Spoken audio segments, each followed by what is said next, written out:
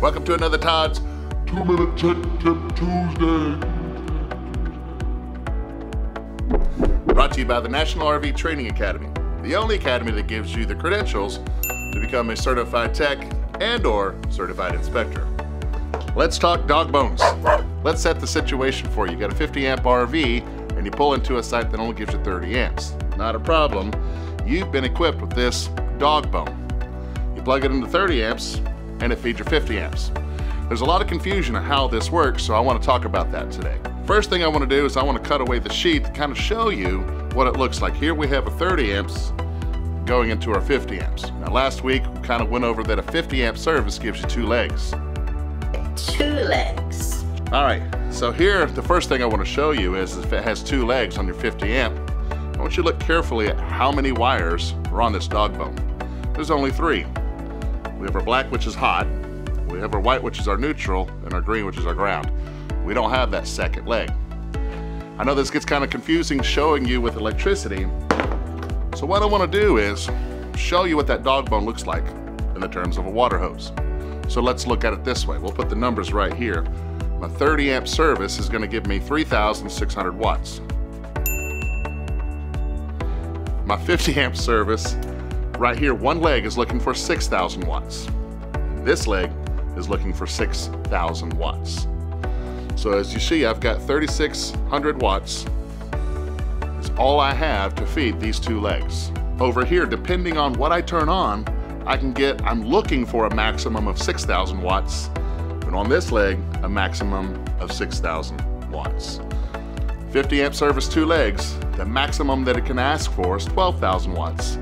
All I'm getting is 3,600 watts. So this is what we want to look at when we're talking about this dog bone here, is to be careful because we can always turn on more things and request for more electricity than what the dog bone can provide.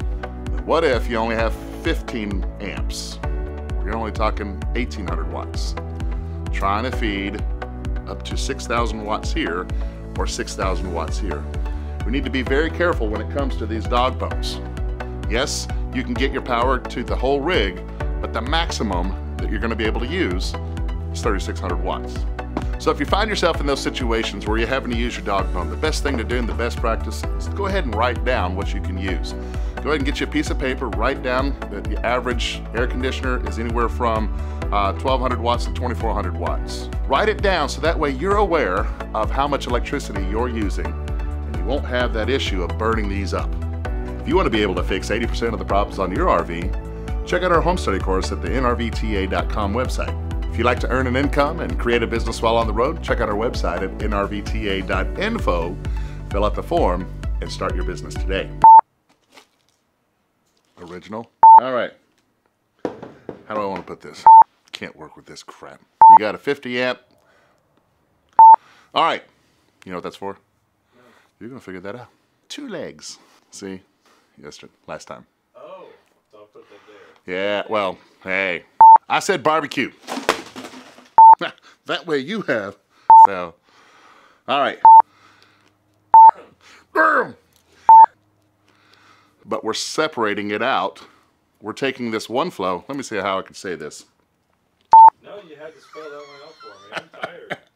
that was, no, that's going to be good. Right? My 50 amp service. Yep, that, that's, that's good. keyboard warrior. I'm dying over here. Key, keyboard warrior. Ding. Got it. Can you go ahead and cook your coffee? Damn it, I said it again. Who who cooks coffee? You do, evidently, because that's a thing. Right. All right. And I'm just holding this the whole time. This the whole time. Your your hmm. Fro knows photo. Right. You don't have the luxury of burning this up.